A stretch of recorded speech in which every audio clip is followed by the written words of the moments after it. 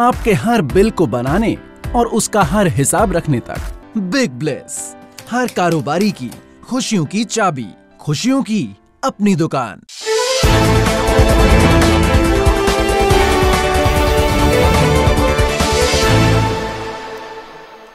सबसे पहले अगर हम मसालों की बात करें तो मसालों में जैसे हमने पहले भी कहा था कि सोइंग का डेटा काफ़ी कमज़ोर आ सकता है जिस ढंग से farmers other crop like mustard में शिफ्ट हुए हैं चने में शिफ्ट हुए जिसकी वजह से एक्रेज में ड्रॉप है।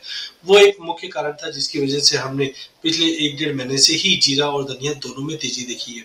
साथ में हमने ये भी देखा कि एक्सपोर्ट डिमांड धीरे धीरे इम्प्रूव हो रही है। और अब जो मौसम खराब हुआ है, गुजरात, राजस्थान एमपी यहाँ पे डैमेजेस भी रिपोर्ट होते हुए दिखाई दे हेलस्टॉम की वजह से। तो आने वाले दिनों में हल्दी, जीरा और कोरिंडर, तीनों में ज़बरदस्त तेज़ी रहेगी हल्दी में तो हमने ऑलरेडी नवंबर दिसंबर में डैमेजेस होते हुए देखे वेदर कंडीशन को देखते हुए। बट कहीं ना कहीं इम्यून सिस्टम को बूस्ट करने के तौर पे एक्सपोर्ट डिमांड काफ़ी अच्छी हुई है, जिसकी वजह से हल्दी को भी सपोर्ट मिल रहा है। इमीडिएट तौर पे अगर जनवरी की बात करें तो हमें लगता है ग्यारह हज़ार तक का लेवल हल्दी में, जीरा अठारह हज़ार, दो सौ, तीन सौ तक का लेवल वहीं, अगर हम धनिया की बात करें तो धनिया भी अगर फरवरी वायदे की बात करें तो ग्यारह हज़ार तक का लेवल दिखा दे।